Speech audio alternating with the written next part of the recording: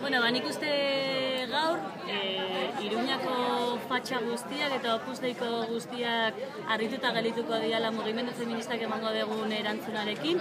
Nik uste ikaratuta galituko diala nazio bat, herri bat, batu dalako abortatzeko eskubidearen inguruan, e, gure gorputzaren gaineko erabakik, erabakiak hartzeko e, eskubidearen inguruan.